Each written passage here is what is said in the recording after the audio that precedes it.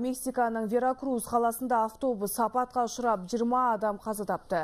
Тағы 25-ке жоқ жолаушы жарақат алған. Билік өкілдерінің мәлімдеуінше автобуста жергілікті футбол командасы мен жанкүйерлер болған. Апаттан 18 адам оқиға орнында тіл тартпай кетсе, екеуі ауруханада көз жұмған. Алдын ала болжам бойынша жол апатына автобус тежегішінің істен шығуы себеп болған.